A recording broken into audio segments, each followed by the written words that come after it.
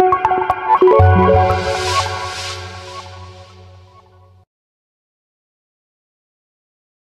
Ok, salve, buonasera a tutti e benvenuti al terzo appuntamento serale dell'ultima ottava del mese di marzo. Oggi, per quanto riguarda i listini europei, c'è stata una chiusura di seduta in ordine sparso. Il DAX chiude a più 0,42%, l'Ibex a meno 0,31%, il CAC di Parigi a più 0,35%, il uh, FTSE Londra più 0,33% e chiude il FTSE MIB a meno 0,26%.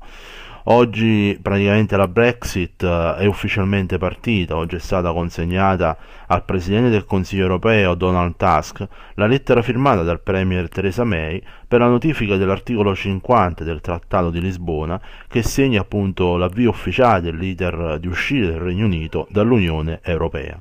Non uh, c'è nessun motivo per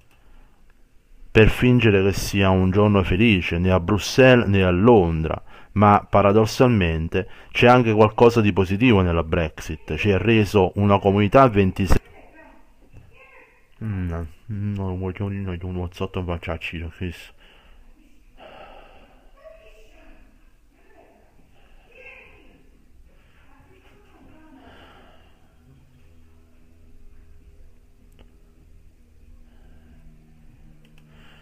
E sto parlando di entrambe le parti, ha proseguito Tusk, ricordando che eh, l'obiettivo è chiaro, ridurre al minimo i costi per i cittadini dell'Unione Europea, le imprese e gli Stati membri. Avremo tutti gli strumenti perché questo avvenga. Tusk ha inoltre ribadito i prossimi passaggi. Venerdì condividerò con gli Stati membri la proposta per le linee guida negoziali da ottenere nel Consiglio Europeo del 29 aprile.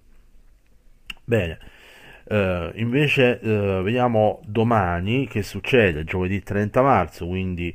abbiamo, abbiamo un'unica indicazione da parte durante la sessione europea con l'indice dei prezzi al consumo della Germania alle ore 13 riferite al mese di marzo, mentre alle ore 13.30 abbiamo un doppio appuntamento dagli Stati Uniti. Abbiamo il prodotto interno lordo e la richiesta dei sussidi di occupazione relativi al 25 marzo.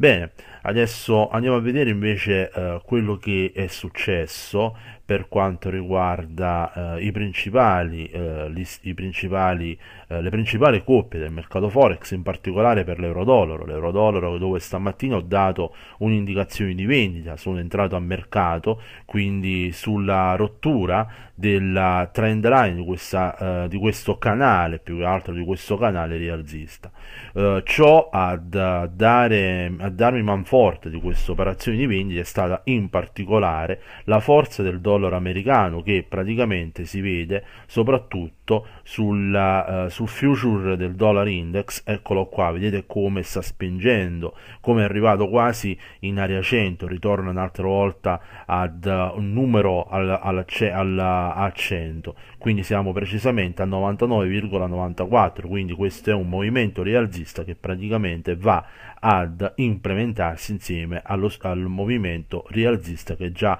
c'è stato nella seduta di ieri. Bene, quindi ritorniamo di nuovo all'euro-dollaro, quindi ecco che la forza appunto del dollaro americano in questo momento ha fatto trigerare il mio ordine pendente ed eh, in questo momento eh, praticamente eh, mi trovo ad eh, ad 30 punti. Uh, ho, ho, fissato due target, il primo target a 124 punti, mentre il secondo target a 238 punti. Mentre invece andiamo a vedere il dollaro yen, per quanto riguarda invece il dollaro yen la situazione eh, resta, eh, passo prima sul giornaliero, vedete praticamente siamo rimasti al di sopra 110,34, quindi non c'è stata la rottura di 110,34 dopo che eh, le sedute di ieri e dell'altro ieri sono state caratterizzate da due rimbalzi, vedete questi sono due rimbalzi su 110,34, quindi il prezzo ha risentito di, eh, questo, mh, di questo livello, di questo supporto statico. Al momento sto fuori dai giochi e attendo altre indicazioni, mentre invece per quanto riguarda sterlina dollaro che dove la sterlina bisogna tenere sotto stretta osservazione, soprattutto prossimi, nelle prossime settimane, nei prossimi mesi, vedete praticamente eh, siamo rientrati all'interno della neckline della, del test spalla eh, rovesciato in ambito, in, eh, in ambito settimanale. Sul giornaliero al momento siamo tra 1,24 e 20, cioè il prezzo è al di sotto questo supporto 1,24 e 20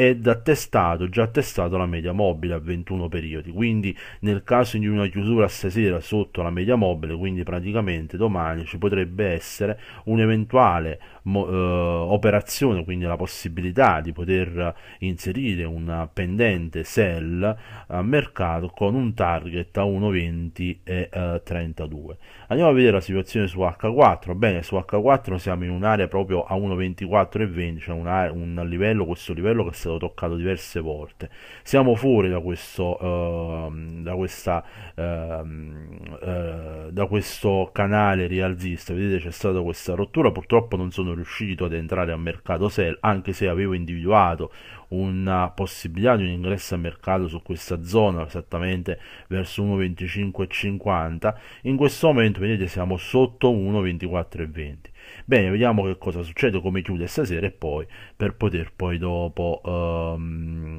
operare a mercato. Invece eh, abbiamo l'altra operazione esattamente la 59esima operazione del mese di marzo eh, sempre eh, una euro yen in questo caso eh, una, un sell stop che è stato triggerato su euro yen eh, è in, in buon profitto allora, ehm, l'operazione subito è, andata, è, entrata mercato, è, è, entrata a mercato, quindi subito è entrata in profitto e eh, ho sistemato questa operazione appunto a rottura di questa eh, trend line, questo canale che eh, in direzione opposta al trend principale, quindi qua è un'operazione su H4 eh, ed eh, in questo momento ehm, vado un attimo anche a vedere l'altro monitor, allora siamo esattamente per quanto riguarda riguarda eh, euro yen